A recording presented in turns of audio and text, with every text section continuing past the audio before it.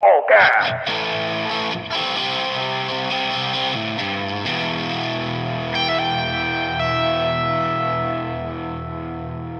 What's up, everybody? Welcome to All Gas, All Georgia Sports. We are glad you are with us here on this special Saturday episode.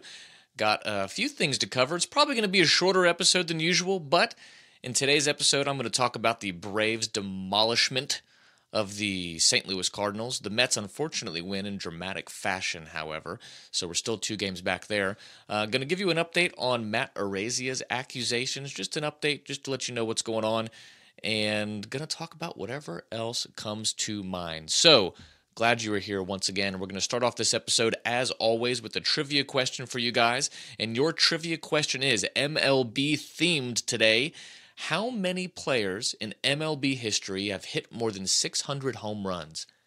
How many players in MLB history have hit more than 600 home runs? So think about that. See if you know it. If you do, kudos to you. That means you're a real deal Major League Baseball fan. And we're going to revisit that at the end of the episode to give you the answer. So, to kick things off, the Atlanta Braves crush. Great game, although it was long. Took a long time for this game to end.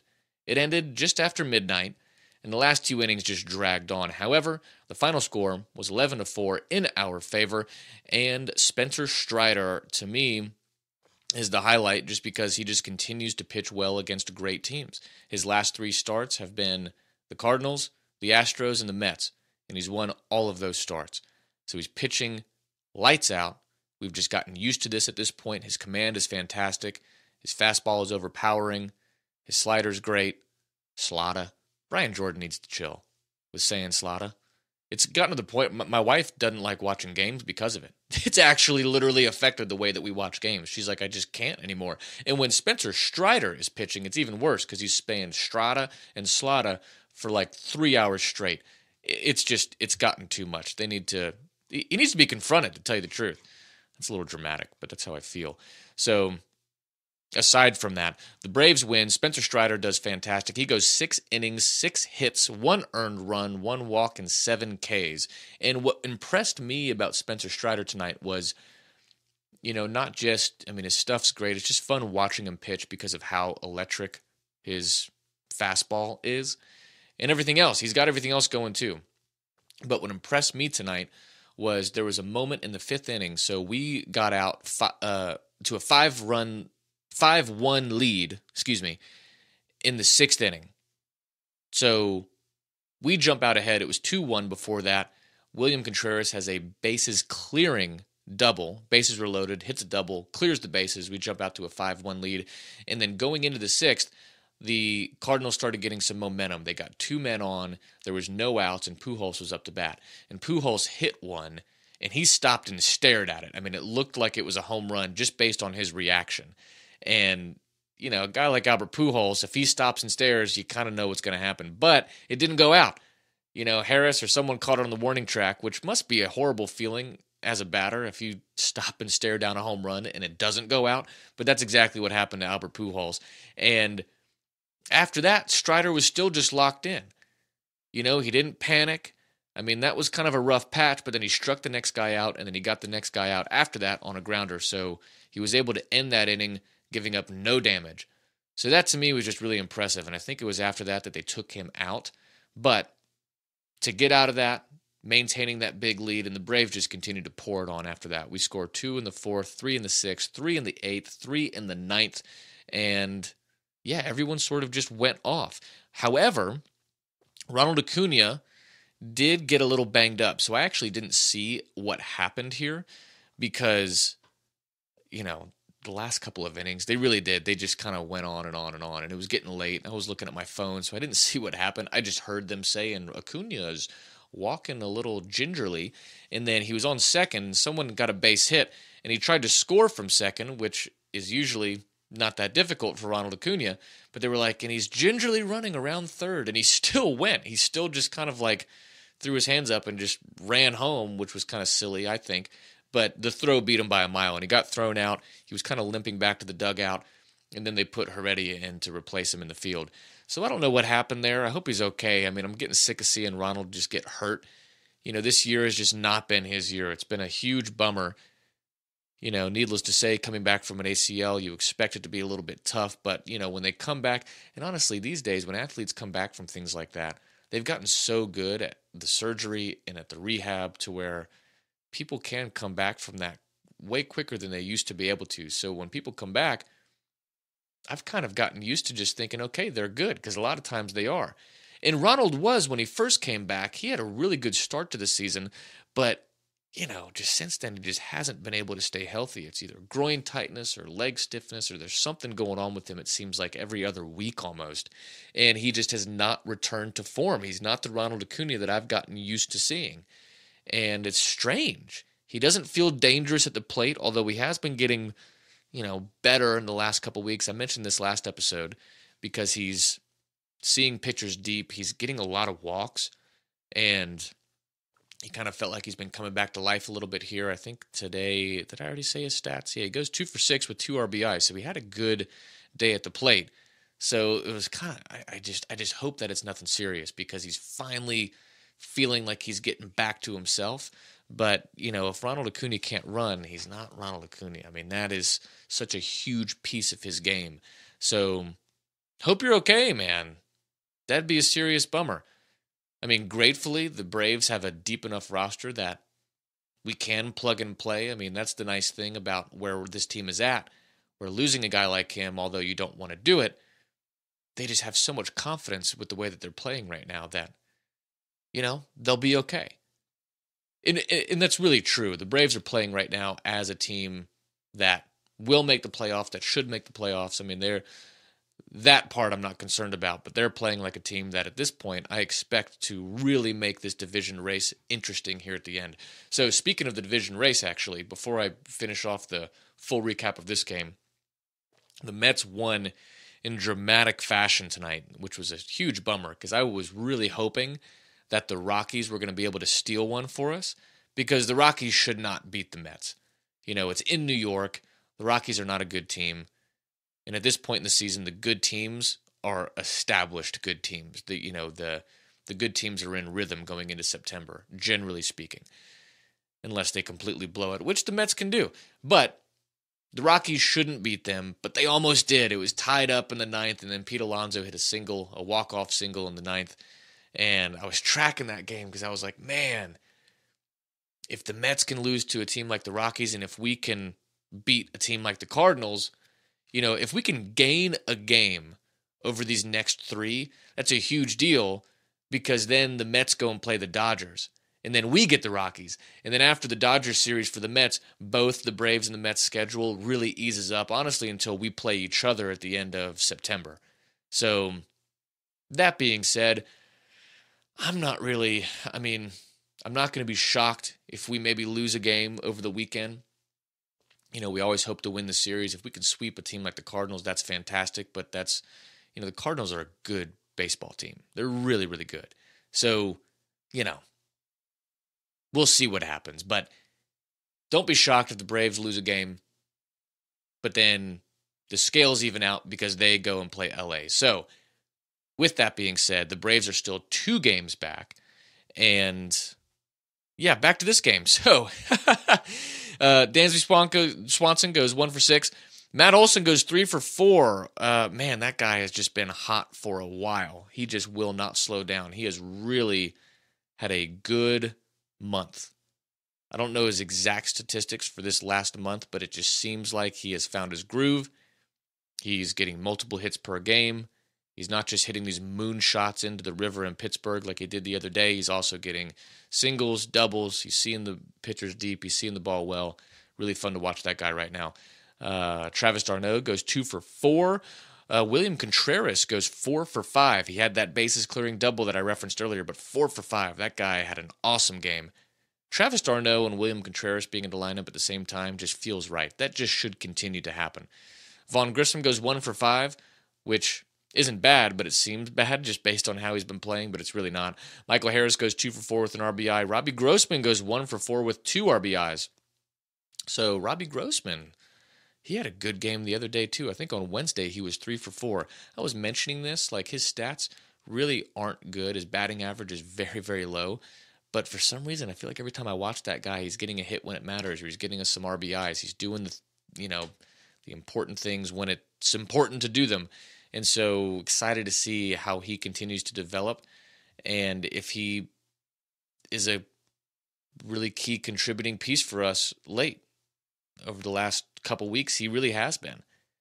Although the numbers aren't there, he's just had some really big moments. So, yeah, good job. Um, what else from this game? Like I said, it just dragged on. And the I'll say this, and the I think the Cardinals are really smart for this, although it was very annoying. But they brought in a position player to pitch in the ninth innings. That's when a team pretty much concedes. When they bring in a position player, you know, it's they brought in their catcher. It was Andrew Knizner. And at that point, you're like, okay, keeping spirits up, keeping it light, giving the guys a rest. It's like we know where this is going. At this point, we were up eleven to one, and he gives up a hit, but he gets out of it. You know, and we we score. We ended up scoring three in the ninth. So, you know, whatever. They at this point, the writing was on the wall. However, going into the bottom of the ninth, the Cardinals actually got a little momentum. I mean, it wasn't too much, but it was enough that like the thing that was strange was coming off the position player pitching in the ninth. The Cardinals challenged a play in the bottom of the ninth to overturn a call at first. So you kind of go, really, why are you guys bothering? You've already pretty much given up. But it ended up giving them some momentum, some momentum, and they scored three runs in the ninth. They went through uh, some pitchers for us, which that's why I think it's genius. Because even though if you know you're going to lose, I mean, you still play like you're going to win because you never know what can happen. But even that move of just extending that inning, that made us bring in Minter to replace Stephens. And Minter was going deep with some guys. So they started warming up Jansen. Now, Minter ended up closing it out for us, thank God. But if Jansen had come in, I mean, what does that do for our game tomorrow? And who knows when Nolan Arenado is coming back? Nolan Arenado did not play today because he just had a baby. Congratulations, Nolan Arenado. That is fantastic. I've said your first and last name together a few times in a short period of time, but congrats. But he didn't play. I don't know if he's expected to come back for the weekend. Maybe he will. I don't think he's ruled out necessarily, so we'll see. But you know, them going through some of our pitchers late in the game like that and taking them deep, how does like are we going to be able to use Minter tomorrow? Is he going to be available the next day? If they had gotten to Jansen on a game like this, that would have been a huge bummer because you know, you want him rested for tomorrow and the next game, you know, so on and so forth. So kind of genius by the Cardinals to extend it like that. But all in all, Braves come away with a great win. Explosive win, two explosive wins in a row. Pittsburgh 14 to 2, then in St. Louis against a much better team 11 to 4. It's fantastic. So our guys are on, they're playing hot. Let's see if there's anything else here. Yeah, 10 in a row on the road for the Braves. AJ Minter did bust his ass. This was hilarious. So uh, I'm sure this is going to be online by the time you're listening to this. But, you know, scroll through Twitter, scroll through YouTube, whatever it is, you're going to see. But AJ Minter throws a ball. And as soon as he threw it, he just his he lost his feet. He it looked like he slipped on ice and he completely just ate it, face plants into the pitcher's mound. It was really funny. And for some reason, like he wasn't laughing about it. He was probably embarrassed, but like at that point, you just got to laugh it off. I think Austin Riley was laughing over at third. Rick Kranitz was laughing in the dugout. I mean, you know, pretty pretty epic um, way to eat it there. Uh, Spencer Strider, oh, this was awesome. He almost this was almost like a top ten play. So he got hit by a line drive, and he almost caught the ball between his legs. It was very strange, but he like when they slow mode it, when they slow mode the replay, I mean he was inches away from making like the play of the year. That's probably not going to be anywhere on the highlights because it was just it ended up being just you know a liner off his leg and then you know the runner made it. But man, that was almost really cool. So go Braves. Let's see if we can pick one up on the Mets this weekend. If we can, that will be huge. Let me just check real quick to see how many more against the Rockies the Mets have because the Mets played last night, I believe. So we're still two games back, and the Mets have two more against the Rockies. And then they have the Dodgers. Crap, the Dodgers are playing the Mets in New York. I was really hoping the Mets were going to LA for that, but they're not. So The Mets have two more against the Rockies, then three against the Dodgers. That's the stretch that we need to step it up, gain some ground because both teams have, you know, have it pretty easy from there on out. So, moving on from that, like I said, it's probably going to be a shorter episode than usual. Just wanted to pop in on a Saturday. UGA football is one week away. Cannot wait for that. Let's see uh, some tweets that I've saved. Anything uh, noteworthy here? So, yeah, Sam Darnold got hurt in a preseason game. Looks like this is uh, tweeted from Ian Rapoport. Sam Darnold is believed to have suffered a high ankle sprain based on the initial evaluation. Sources say he'll have an MRI tomorrow to determine the severity and if there's other damage. Hope he's okay. I like Sam Darnold. You know, it's kind of like with all the Browns drama with Baker Mayfield and Baker Mayfield going to Carolina. You know, I mean, obviously, I hope the Carolina Panthers don't do well because they're in our division, but Sam Darnold seems like a cool dude, and they got off to a really hot start last year. And I was actually at the game when he was in it when they were in Atlanta, and he got hit like I mean, it was you could hear the sound of the pads clashing like over the stadium sound like it was really a violent collision, and he was out maybe for the rest of the season or at least for a few games after that. But Sam Darnold got Darnold got absolutely demolished in Atlanta last year, and I don't know why I just thought of that. Uh, other than that, I do like him. He seems like a cool dude, seems like a good guy, and he's a good quarterback. But he got hurt, and he's already pretty much been replaced as a starting quarterback with Baker Mayfield come in. And interested to see what Baker does. Uh, fun fact, too, for you guys is if you look at Baker Mayfield and Marcus Mariota's stats, they are very, very similar with completion percentage, with QB rating, with touchdowns and interceptions. I think maybe Mar- Mariota's got a few more interceptions. Their their record is similar, so kind of fun to look at there. I don't know if that's a good thing or a bad thing because Baker you know, he's he's good. He's not a bad quarterback.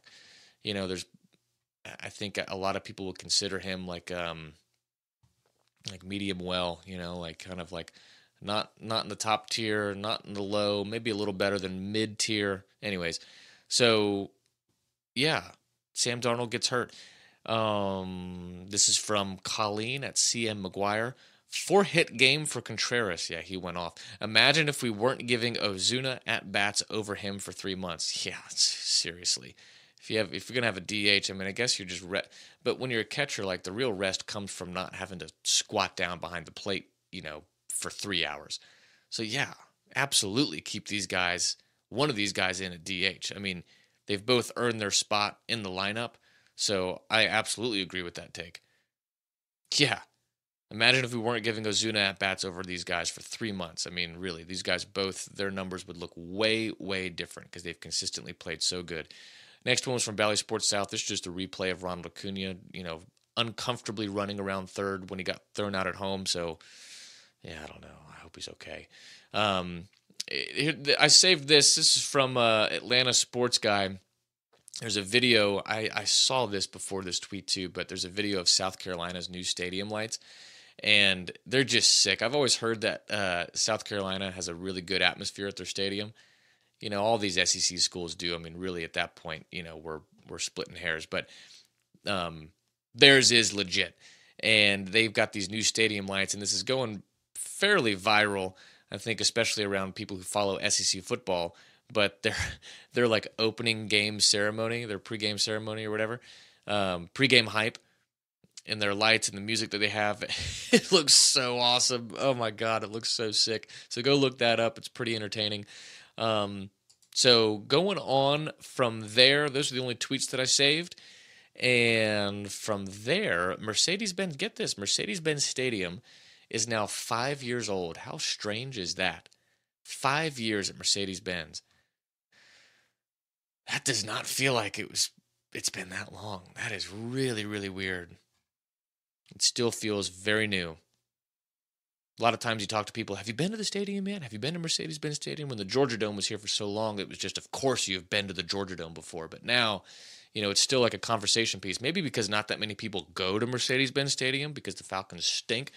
And hoping that we can create a new kind of energy in that place because the one thing that I've been bummed about is the Falcons' home field advantage, at least how it seems when I'm watching them on TV. Like nobody's in the seats, but people are there. Like people will be there, but they're all hanging out in the bars and the restaurants and all that. And that stuff's cool and all, but like, man, I don't know. I'm just, I'm a football guy. I want to get my food early and go. I want to be in the seat the whole time. I don't want to be hanging out in the bar when the game's going on, but people do. And, you know, I understand it, but hopefully if the Falcons start winning, we can create a new kind of culture and people will be in their seats. I mean, even in this AJC article about Mercedes Benz Stadium, the picture is of like the seats like 10% filled. I mean, it's terrible. Oh man.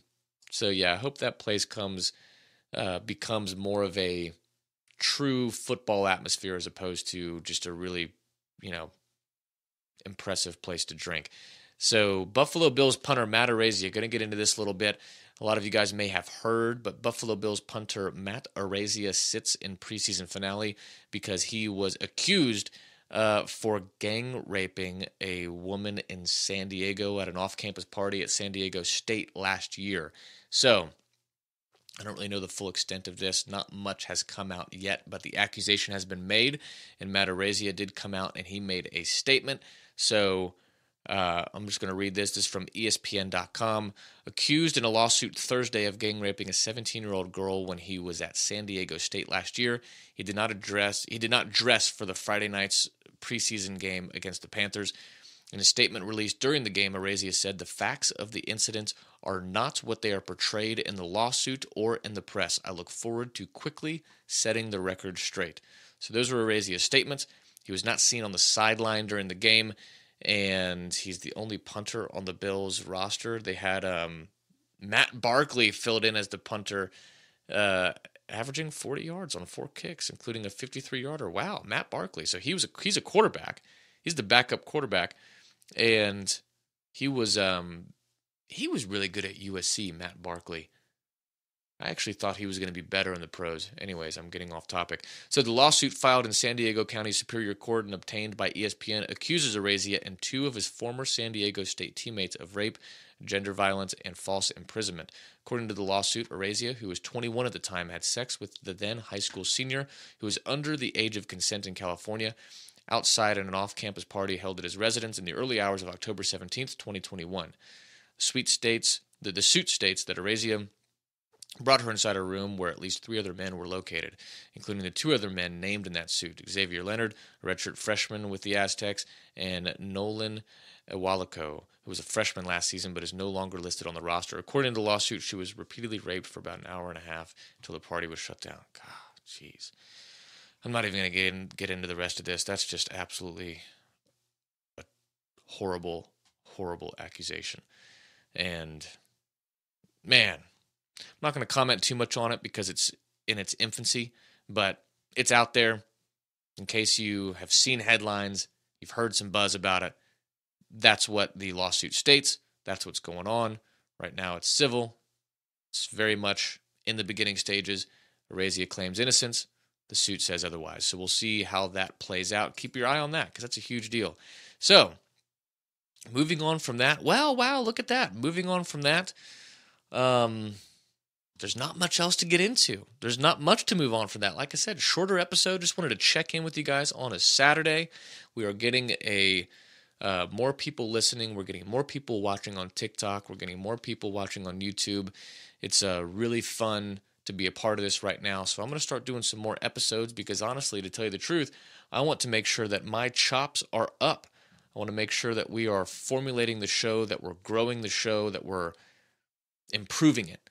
So I'm going to get on here as much as possible so I can hone in on what we're doing and get better and better for you guys so we can keep it entertaining for y'all. I hope that it is. I hope that uh, my enthusiasm is shared by you guys. And I do record late at night sometimes, so I try not to be too tired. But right now it's like one in the morning. so, oh man, the kid's asleep, the wife's asleep. You know, this is kind of the only time I can do it. So, um, but been a lot of fun. I appreciate you guys listening. So please follow us everywhere you can. Give us a good rating if you want, you know. If not, you know, then don't rate at all. But uh UGA is one week away. Falcons preseason game is tomorrow. I'll end with that. I am going to that game, so we bought season tickets this year. If you want to get season tickets for the Falcons, now is the time to do it because they're honestly pretty cheap. I mean, relative to what you might think, because they just need people in the stands. I literally, in my email to the Falcons, I said, hey, look, I want season tickets, but just get me in there because I'm the guy that you want there. I'm going to go nuts. I'm going to freak out every game. I'm going to be bringing the hype. I'm not going to leave my seat and they responded like immediately with yeah yeah we want you there i mean i don't think they would have turned my business away anyways but it was kind of a fun exchange so falcons preseason tickets get them while you can i'm sure you're going to be able to for a while there's a lot of good perks that come with them i'm not being sponsored for saying this this has just literally been my experience so our first game in these seats is tomorrow at the preseason against the jags so excited to see that because we got good seats i'm excited to see these guys up close and to just experience it. And it's a bit of a tease because we're still two weeks away from the NFL season starting. But as soon as that season starts, I will be there. I'm going to have some really good analysis for you guys at these games. At least I hope so. I'm interested to see how different my analysis is going to be from being there versus watching it on TV because it, the football is weird like that. You do get a lot of information and a lot of good looks when you're watching it on um, on the television. So, uh, but I'm still going to every game. It's going to be so much fun. So excited to see that. We'll be there. I'm going to pop in again tomorrow night and release another episode on Sunday for you guys to let you know how that was, to recap the Braves game of that day. And then, of course, to just go over anything else that I can in the sporting world. So, to end the show, I'm going to revisit the trivia question as always. The trivia question was if you remember, how many players in the MLB have hit more than 600 home runs?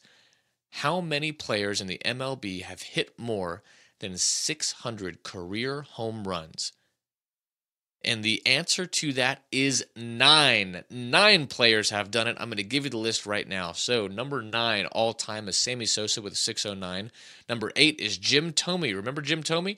612 for Mr. Thome. Ken Griffey Jr., seventh all time with 630 home runs. Willie Mays, 660 home runs in sixth place all time. Albert Pujols, that's what inspired this question, is seeing Albert Pujols. I know that he's climbing the ladder here, and he's only three behind A Rod. So Albert Pujols has 693, fifth all time. Alex Rodriguez has 696, fourth all time. So three more home runs for Pujols, and he will tie Alex Rodriguez. So there's plenty of time to do it. One would think, although home runs are hard to hit, he is 42 years old. We'll see if he can do it. A lot of people are talking about him racing the 700. That would be really impressive if he does. I don't think that he's going to, but he has played markedly better since he's gotten to St. Louis. So that'll be exciting to keep your eye on.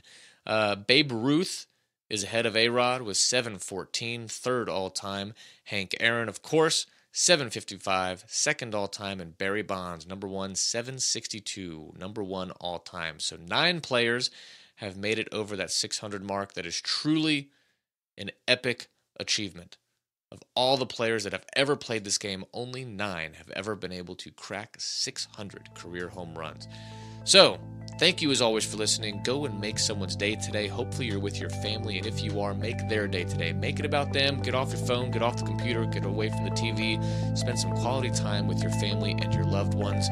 And with that, I love you guys, and I will see you guys tomorrow. See ya.